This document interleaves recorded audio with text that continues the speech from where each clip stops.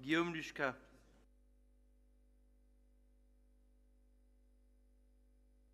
Monsieur le Président, euh, je souhaiterais revenir sur l'incident de ce matin euh, pour vous faire part de mon dégoût pour les propos euh, scandaleux et pour le manque de courtoisie dont a fait, preuve Monsieur Boll à l'égard de ma collègue Marion.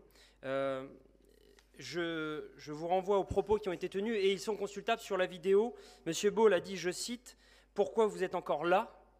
Euh, Et vous ajoutez, c'est vrai que les indemnités, euh, c'est toujours bon à prendre quand on est étudiante. Vos propos sont inadmissibles dans cet hémicycle, euh, qui démontrent votre mépris à l'égard des étudiants.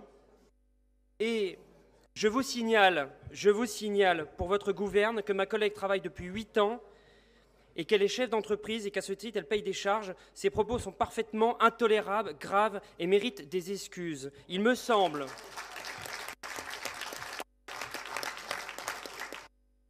Il, il me semble que le rôle d'un président de séance, le cas de M. Boll ce matin, suite à votre absence, est de faire respecter le temps de parole et la liberté d'expression de chacun des élus de cette Assemblée, quelle que soit l'étiquette politique, a fortiori lorsqu'il s'agit d'une femme. Alors je vous demanderai à l'avenir un peu, un peu, je vous demanderai C'est très respectueux vis-à-vis des femmes. Non, c'est Alors, très je- respectueux. Je vous demanderai à l'avenir un peu moins de sexisme et plus de respect pour les femmes, valeur pourtant, si ancienne dans notre pays.